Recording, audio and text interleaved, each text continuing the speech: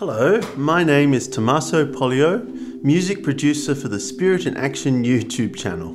With me, so full of clarity, is the other half of the Spirit in Action team, writer and counsellor Claire. Hi, Tom. How are you today? Good, thank you. Good. Thank you for joining me. It's a pleasure. Uh, these podcasts are companions to the daily meditations that we produce freely on YouTube. The aim of these discussions is to further clarify what was read out in those meditations. Today, we talk further on day 14 having clarity on what you want. The talk opens with these words When we want change in our lives, we must be the change. Think about what you want to change. Then decide whether you are willing to change those things to achieve them. If you don't, you have already failed.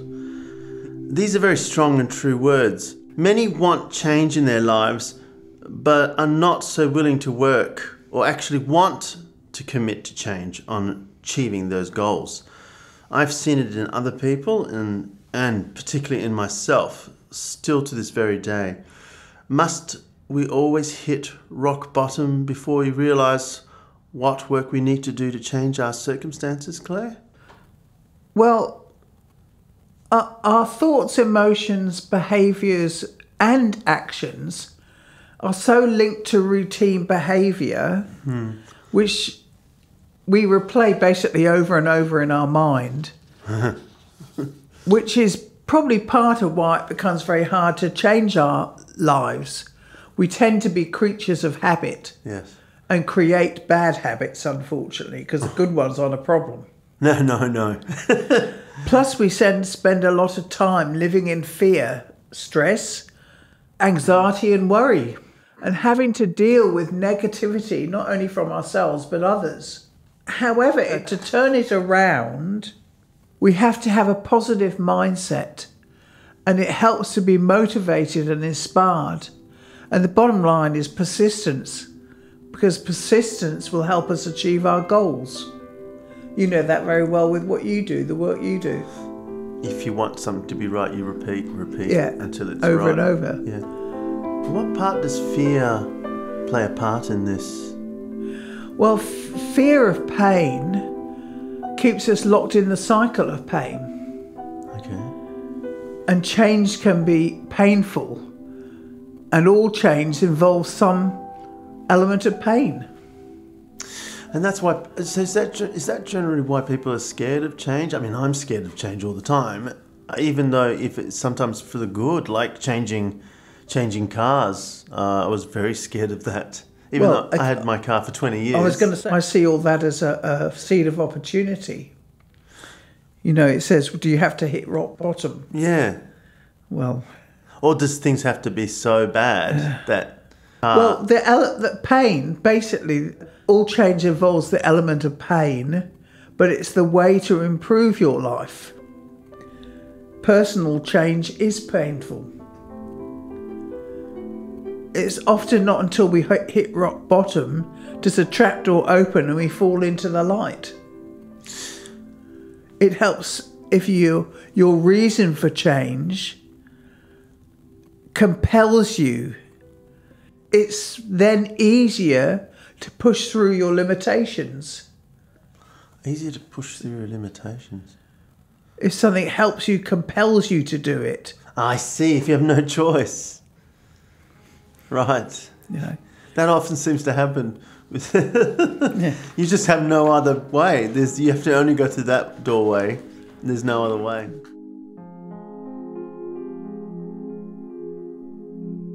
Another wonderful thing you mentioned, Claire, is in the talk. You say, find positive people who encourage and help you achieve your goals. Don't surround yourself with negative people. Consistently make steps towards the outcome you want, but make realistic goals and don't be fearful of adjusting your goals. Appreciate any small success you may have towards moving forwards. Be vigilant. Notice small gains and constantly evaluate your goals and be gentle on yourself. I find this point very heartening, just looking at life and the improvement of it occurring in small steps. And of course, the big factor is learning to be grateful for the daily lessons life seems to throw at us. I used to go through life thinking every time something bad happened, it was a punishment. That's my Catholic upbringing. How do you view the setbacks we all receive in life, Claire? Well, yes, we have to make many steps towards the outcome we want because it's hard to change your life when there's nothing driving you to do so. That's why it helps to be compelled. Ah. Look at reasons that give you a deeper insight into why you're doing what you do. It's always easier to reach goals when something is driving you to it. Write down the reasons for your goals. They help you develop good habits, basically, and the ability to take actions towards that. Does that make sense? Yeah. You know, we've got to be gentle on ourselves and develop good habits like exercise, which is extremely powerful for the mind and body. Just slowly, gently, a little every day.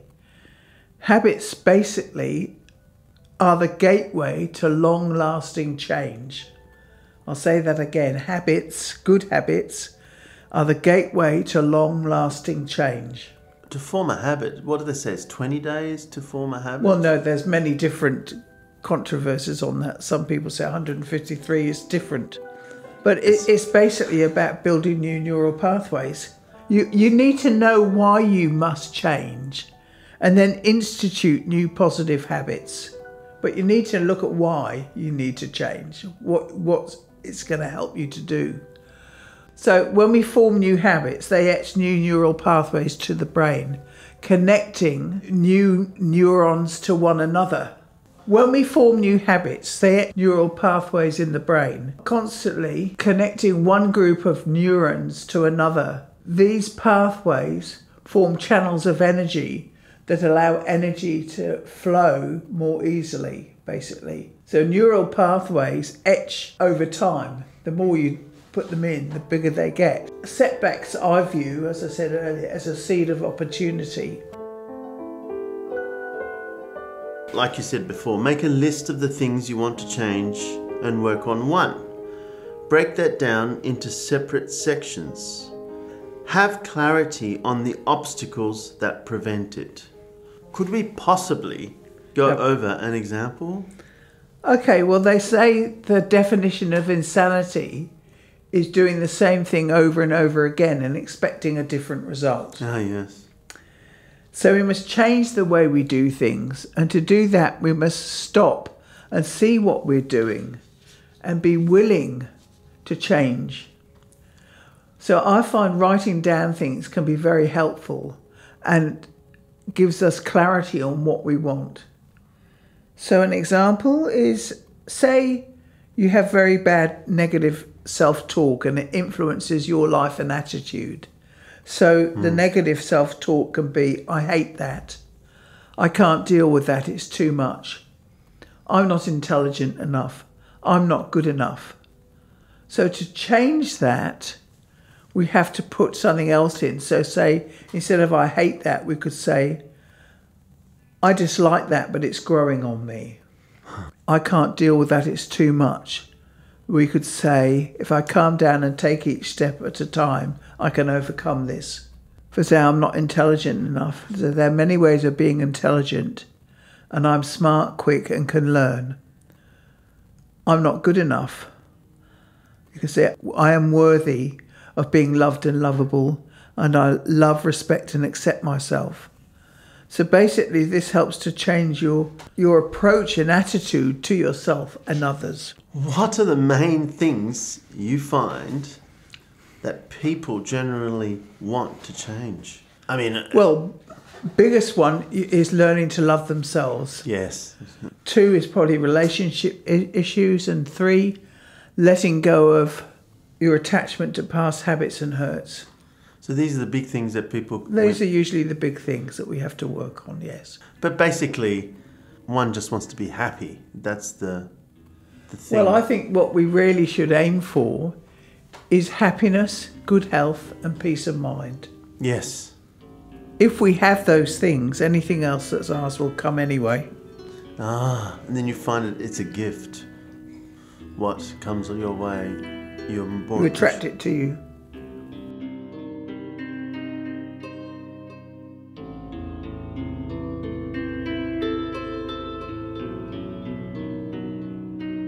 Do you find that with um the your the people that you see, clients that you see, do you find that it takes sometime a while to guide them until they realize, oh, okay, so that that that can all be fixed if I Yes, there are many levels of seeing and many levels of hearing, and people will do it in their own time. You can take a horse to water, you can't make it drink.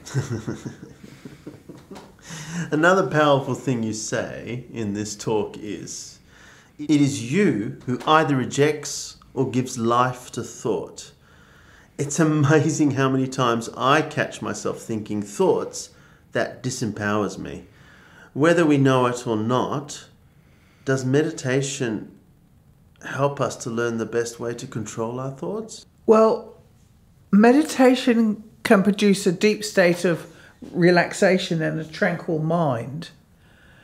And through meditation, you deactivate your sympathetic nervous system and turn on the parasympathetic, which over time really helps reduce stress, anxiety, pain, and depression. We can control only a tiny part of our conscious thought, and the vast majority of our thinking goes on subconsciously. Hmm. In mindfulness meditation, we become observant and watchful of the thoughts, emotions, and sensations we experience without judgment and from a place of neutrality. And with that, we become aware of basically our, unconscious scripts that play in our minds and learn to identify negative and false beliefs about ourselves in this world, which helps us to become more compassionate and accepting of our emotions. And basically, they say out of this awareness comes, and out of awareness comes silence. As we learn to watch our thoughts and emotions rather than being controlled by them, it basically becomes very freeing, empowering, and healing. So, meditation is an extremely powerful tool. And again, this is something we just develop slowly and gently. We don't force anything. Right. It does you, you do not do it. right, you don't have to force yourself to go to a cave and meditate six hours a day to fix things up. I'm meditating six hours a day till we get this. It's about letting go of control, not trying to hold on Letting to it. Letting go of control. Letting go of our attachments. And then once we've let go, When we let go, things move. That's a really important thing to remember. When we let go, things move. And what we do is try and hold on to them, hoping they'll move. for me, with age, it's come easier to to just step back. But uh, as a youngster, I remember that clinging on. But I think a lot of that has come from the work you've done.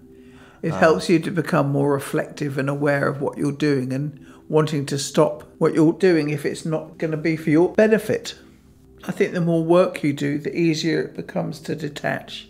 Yes, there are some things that I've been finding have just I have detached from without me realizing it's just That's right. like oh, I'm not thinking that anymore. It's not like whereas you know That's, before. that's why I've always said it's very subtle. Yeah. When did that stop being a problem? which is a nice feeling. You're going, oh, okay. Which, you know, maybe a few years ago was a daily thought of mine. Oh God, oh God, you know, I don't want to think this. I don't want to. Yeah. And then all of a sudden it's like, oh, oh dear, I haven't thought that for a long, long, long, long, long time. Yes, it's interesting, isn't it? I had an experience the other day. I was watching this wonderful movie, and it was incredibly uh, deep emotionally. And I just sat there and I was bawling my eyes out. And I was, it was extraordinary because my inner dialogue is feeling alone, even though I've always been completely surrounded by everybody. And I realised that that was what the trigger had been in the movie. But as I was watching it, I realised I was completely detached from the tears. I wasn't in the tears at all. So it was the body reacting. It was the body reacting. I wasn't in it at all. And I felt absolutely fine. It was bizarre. So you was just watching, like watching a movie watching a movie. of yourself crying, reacting to a movie thing. Wasn't about now at all. That's amazing. Well, I hope I get to that stage one day. I'm sure you will. yeah, well, I like this. I particularly like this talk. Uh, I listen to this talk a lot, day 14. Well, uh, uh, as I said earlier, I think, you know, it really helps to write down what it is you want, why you think you want it, what are the outcomes you're expecting from it, and what steps you need to achieve those things.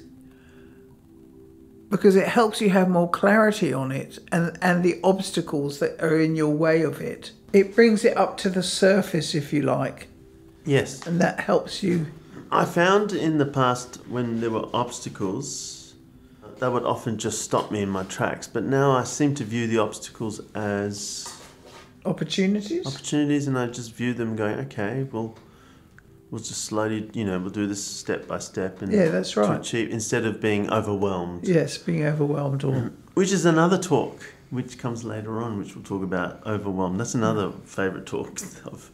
Ah, well, thank you so much, Claire. Thank you, Tommaso. If you want to get in touch with Claire, please click on the link below and you can actually organise a time to speak with Claire. If you don't live in Perth, uh, you can actually contact her by Skype. And uh, if you are in Perth, you can come over and, and organise a session to talk with her. She's very approachable and um, very generous with her time. You can also make a comment below and we can um, try to address those things in. Well, the last uh, comment we've got, I've I've written another talk on that, Yes, which we'll we've written another soon. talk. Yes, will come soon. These take times though, so I know this was asked a few months ago and the talk will probably come out in a few months. But you know, we get there. We, we work as hard as we can on top of all our other jobs. Anyway, thank you so much, Claire. Thanks, Tommaso. It's my pleasure. Sorry, love. All of a sudden, I've got to go to the toilet. Oh, she needs to go to the toilet. Please. Let's put the. Let's move the mic. Show the toilet?